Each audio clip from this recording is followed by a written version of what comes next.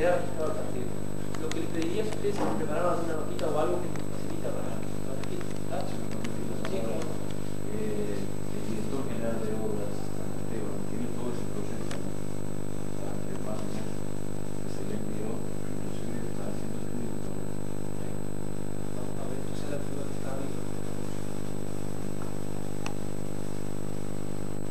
Sí, señor. Buenas noches, presidente. Hago representación a la Comisión de Apoyo de Adultos de la Escuela, que comenzó a funcionar efectivamente este año dado con el curso móvil. Y cual es muy necesario para el medio, dado que son, forman tiempo, se da carpintería, se va a comenzar con electricidad, se está horticultura, y eso es. Hoy día se está utilizando salones del curso banquera que se solicitó de Cubantinas, se ha conseguido por medio de Club de Leones la, usufructo del, balcón de cual está muy completo desde el y generando mucho, y está funcionando carpintería en la casa de un vecino que prácticamente ha seguido para el uso de, de de carpintería.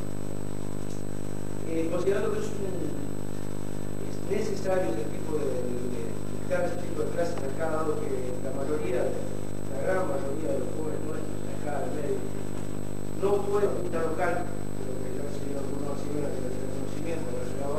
una nota en la cual solicitamos la donación de un terreno que es de dominio municipal.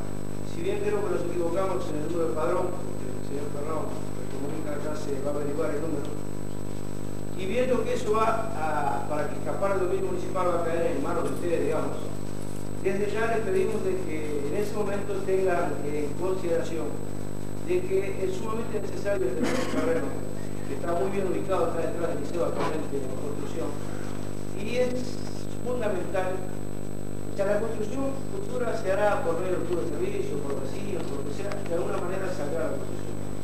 Y es fundamental centralizar, que sea carpintería, electricidad, y todos los cursos sean centralizados en un solo local. Y por lo tanto lo que yo les pido es que cuando llegue esa, no- es- o sea, esa inquietud frente a ustedes, en la Junta Local de Sierra Nevada, que tengan en consideración que es algo de sumamente importante. Doctor Ernesto López Ortiz, presidente de la Junta Departamental de Rivera, ¿qué impresión se lleva de la participación de la, de la comunidad tranquerense y zonas aledañas en esta reunión con ustedes aquí? Bueno, nosotros sin duda estamos impresionadísimos porque creemos que en este, no, no hay en el departamento en este momento una comunidad que tenga el, el nivel de respuesta que tiene Tranqueras. Y lo demuestran en, en- en, digo, pensamos que iba a ser una reunión, digamos, de cierta forma reducida, como estamos haciendo en otros lugares del departamento. Y ha sido una reunión importantísima, con un gran número de planteos.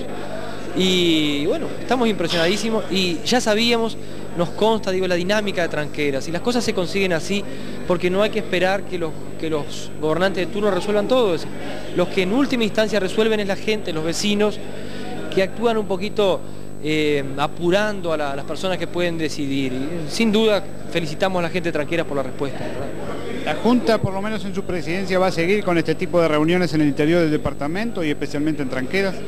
Sin duda, la la idea nuestra es tener un contacto lo más directo posible con los vecinos, con, con las comisiones, porque si no la Junta se limita a una gestión muy burocrática y la gestión burocrática lo aísla a la comunidad del gobierno y eso nosotros creemos que la forma de evitarlo es este tipo de reuniones, sin discursos, en forma lo más informal posible y reuniones de trabajo. Muchas cosas la Junta eh,